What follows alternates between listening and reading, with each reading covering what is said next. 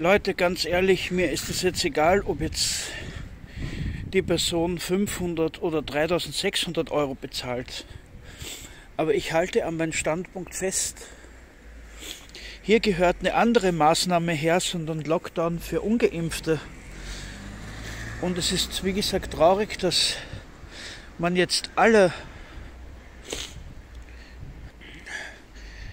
alle Menschen, die schon geimpft worden sind, dafür bestraft werden, weil die Impfweigerer sich hier verdünnisieren. Das geht einfach nicht so.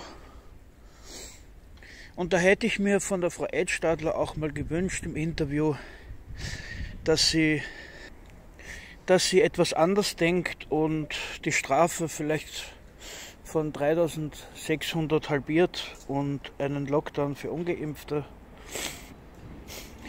und für die Privatpersonen, die sich nicht impfen lassen, von 500 Euro auf 250 Euro und auch einen harten Lockdown.